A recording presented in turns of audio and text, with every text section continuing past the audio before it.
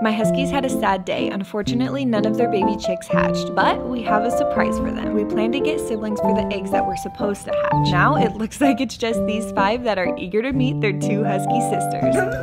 Kakoa and Sky were so excited, they definitely knew what was inside the box. We got five super cute silkie chicks, two white, two splash, and one blue. It was so funny to watch the dogs and the chicks interact with each other for the first time. They were so curious and weren't scared at all. Kakoa hasn't left the spot since they got home, so I think she's taken on a majority of the babysitting duties.